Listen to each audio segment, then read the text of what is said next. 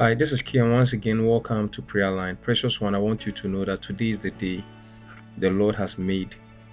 We will rejoice and be glad in it. Today, I want to talk to you about the kingdom of God and the kingdom of Satan.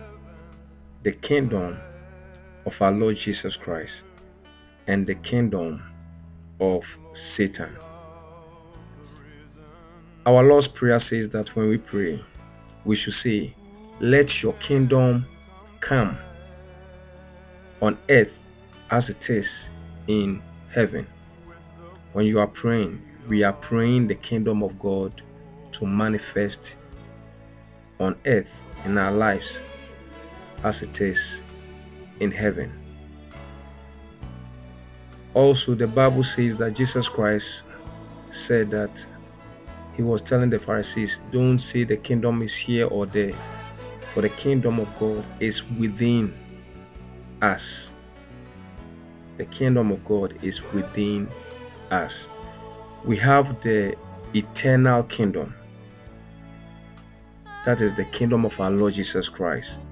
One day, when He comes to rapture the saints, we will inherit His kingdom. You understand?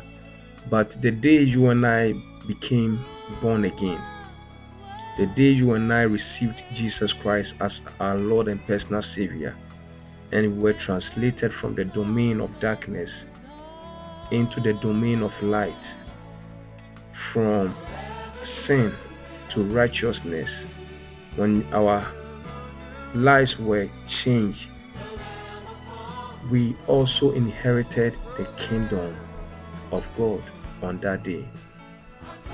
When you became a Christian, you inherit you inherited the kingdom of God. Anyone who doesn't know Jesus Christ is within the domain or the kingdom of Satan. And so the Satan can do anything to them at will. But when you also accept Jesus Christ as your Lord and personal Savior, you have also inherited the kingdom of God. And the kingdom of God is now within you. You don't have to die to go to heaven to enjoy the kingdom of God. You don't have to be raptured for you to enjoy the kingdom of God. The kingdom of God is now in you. If you can pray the kingdom, the kingdom of Jesus will be manifested in your life because now God is now tabernacled. God now dwells in you and in me as believers. Do you understand? It's a mystery. Imagine the all sovereign, all powerful God, He who created the entire universe, the billions of planet, uh, stars, and galaxies, the God who created everything that there is can still live in you. That's how awesome God is. And His kingdom is to be manifested in the sons of God, those who are led by the Spirit of God. They are the true children of God. Today, I want to talk to you about the kingdom of our Lord Jesus Christ and the kingdom of Satan and how we can enjoy, maximize the kingdom of God in our lives. That His kingdom will be established in our lives on earth just as it is in heaven. When you read Romans chapter 14, Romans chapter 14, verse 17, it says, The kingdom of God is not eating and drinking. The kingdom of God is not eating and drinking, but righteousness. So now the kingdom of God is righteousness, peace, and joy in the Holy Ghost. The kingdom of God is righteousness, peace, and joy in the Holy Spirit, Holy Ghost. righteousness. Righteousness simply means right standing with God. When you are in a right standing with God. He says, Blessed is the one whom the Lord has not imputed iniquity, transgression. Right standing with God. The Lord approves of your life. The Lord delights in your life. The Lord loves you because you are in right standing with Him because of His Son, our Lord Jesus Christ, because you have received Jesus Christ into your life as your Lord and personal Savior. And when that happens, we now manifest the fruit of our salvation by living a holy life, a blameless life to please Him. So, righteousness doesn't mean you don't fall short sometimes, you don't sin. But righteousness means that you are in a right standing with God because of our Lord Jesus Christ. Right standing.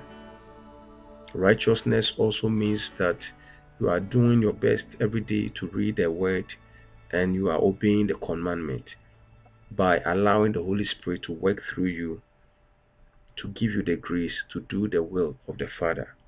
Right standing. Righteousness is part of the kingdom of God. So the children of God they live by having a right standing with God. That is manifesting the kingdom. When you and I are daily striving to do the will of the Father, to obey His commandment, to separate ourselves from sin, to die to the world, to die to ourselves, and to be alive in Christ, in righteousness. When you do this, you are manifesting the kingdom of God. Right standing, righteousness. Righteousness, we have the imputed and we have the imparted righteousness. Imputed is when you became a Christian. Through Adam, all sinned. Through Christ, we are forgiven. Imputed, you inherited the righteousness of Jesus. So on the day of judgment, when you stand before God, He's not going to judge you by the things you did, the things you did, but He's going to look at what His Son Jesus did for you on Calvary. And He says that you are acquitted, you are justified, you are forgiven, you are pardoned, you have a pass to enter into the kingdom of God, into heaven, or to inherit the earth do you understand? Because of Jesus. Then we have the imparted. Even though you and I have inherited the righteousness of Jesus, our responsibility is to allow the Holy Spirit to work in us, both to will and to do the good pleasure of the Father. And so we, that's what the Bible says that with trembling and fear, we should work out our own salvation with fear and trembling. Meaning that now we have to manifest the fruit of the Spirit. We have to live as Christians. What is the use of saying you are a Christian when you are living your life like unbelievers? When you are listening to their songs, when you are watching their movies, when you are hanging around unbelievers, when you are your, your very close friends are people who do not know Jesus. You fellowship you know, as Psalm 1 says that blessed is the one who doesn't walk in the midst of what sinners. But yours is that all your friends are not chosen by the Holy Spirit. All your friends are secular. All your friends, their delight is secular things. They don't love God. They don't love the things of God. And for some reason, you delight to be around them. How can you call yourself a Christian? When you fellowship with the, the, the children who do not have anything to do with your Heavenly Father. They want to go to the club, they want to go and watch secular movies, they listen to secular songs, secular entertainment, their passion is materialistic, and you say you call yourself a Christian. Your friends are not chosen by God. by the Holy Spirit. Carnal friends. And you have carnal, lust of the eye, lust of the flesh, pride of life. Do you understand? So righteousness is in two folds that which the Lord Jesus Christ did for us on Calvary, and that which you and I, because we are born again, filled with the Holy Spirit, we are striving to go through the narrow, the narrow, the narrow path to make it into the kingdom of our Lord Jesus Christ. And God gives us the grace to want to obey Him, to read the word and to obey Him, and to strive to abstain from sin. Anything that easily beset us or put a load on us, sin, sin, which can cause us to fall short of the glory of God. That is righteousness. So, the opposite of righteousness is sin and lawlessness. So, in the kingdom of God is righteousness. In the kingdom of Satan is lawlessness and sin.